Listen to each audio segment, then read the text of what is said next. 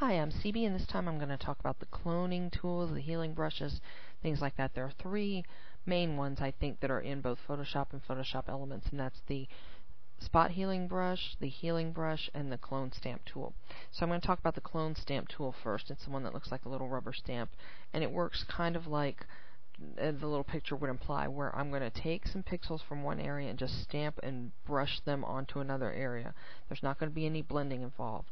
The first thing I like to do when using this tool is to copy and work on another layer. So Control or Command plus J, Command plus J if you're using a Mac, Control plus J on the uh, PC, and work on that layer instead. So I have that tool selected. The first thing to do is tell it the area I want to pull pixels from. This is a really good tool for using for things like grass and in this case sand because there's a randomness sort of about those two things that requires no real blending.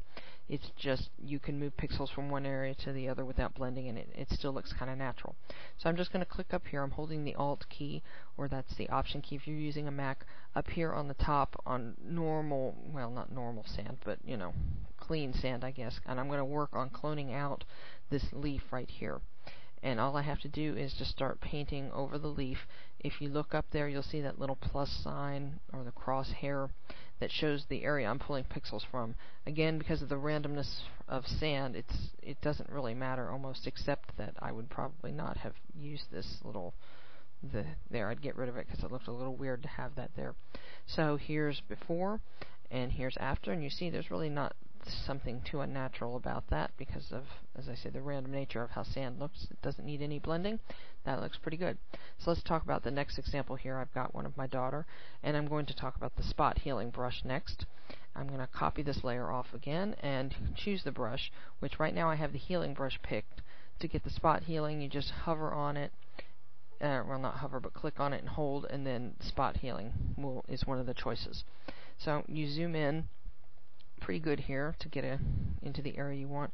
My kids tend to get food on their faces, you know. If you've got a blemish, this works great for blemishes too to pull out. And what this will do is I don't have to define a source point. All I have to do is take the area that I want to get rid of. It looks kind of at the center of the brush and says the center is the abnormal part I want to fix stuff around the edges and the outside are the parts I'm going to blend and pull pixels from to fix it. So all I really have to do is just tap on it once. You see, and it, it just gets rid of it pretty easily. And sometimes if it doesn't do it right the first time, try undoing and going back. Just make sure that whatever area you're wanting to use it from has a lot of clean area around it. In this case, there was a lot of you know decent looking skin. If I tried to clone too close to this lip, for instance, if I was doing something in here, well, that didn't show off too bad, but it can it can make things look a little bit wacky if you're if you're not too careful with that brush. So let's talk about the third brush, and that's the healing stamp. And again, I'm going to have to hover back in here and, and get that out. And what have I done? I went to path somehow, and also I didn't copy my layer off correctly. There. Okay. Not what I intended to do. Now, my kids have under eye circles thanks to their dad. So occasionally I go in and I have to fix that, and I use the healing brush on this. Probably zoom in a little bit more. This is not a bad example of under eye circles, but if we talk about under eye circles, wrinkles, the healing brush is good for that.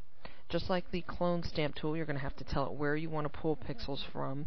And I'm just going to go down here to the cheek where it's nice and clean and nothing really happening.